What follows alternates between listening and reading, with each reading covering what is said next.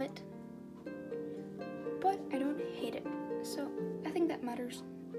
I'm gonna forgive myself for not loving it though, because I did a couple new things today.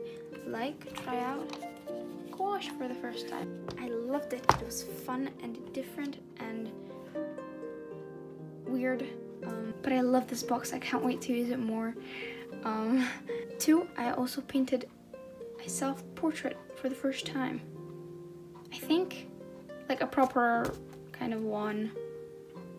Proper, I don't know, this was kind of just an experiment, but um, oh, and three, use different colors, which I don't normally use, like purple and pink.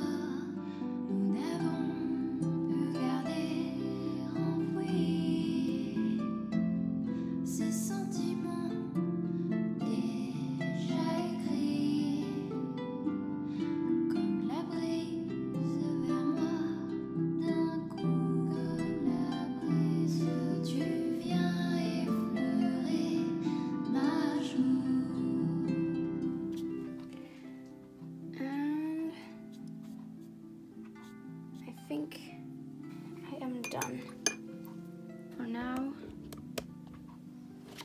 I think this is it. If at first you don't succeed, try, try again. so this time I did it more in my comfort zone.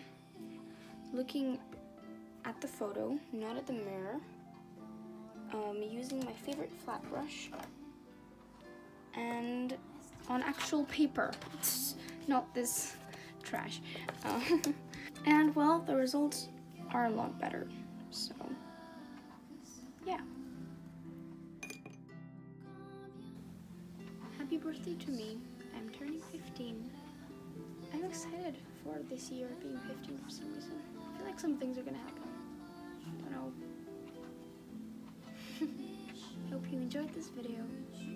Thank you so much for watching, whoever you are. I hope you have a good day or a good sleep.